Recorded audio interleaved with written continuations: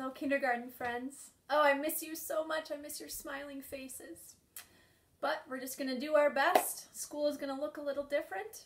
Um, each week you'll have some homework to do. I'll make some videos to help you with your homework. And then also I hope to talk to you each week so I can see how you're doing and see your smiling face. Um, I know this is a strange time, but we're just going to do our best. And just know that I'm praying for you. Please pray for me too. And please remember to say your prayers every day and that Jesus is with us and he loves us so, so much. And also your guardian angel is with you, so you're never alone. So I hope you're having fun with all this extra special family time. And um, I hope to see you real soon. I love you and I miss you. And I'm sending you a really big hug. Here you go. Bye-bye.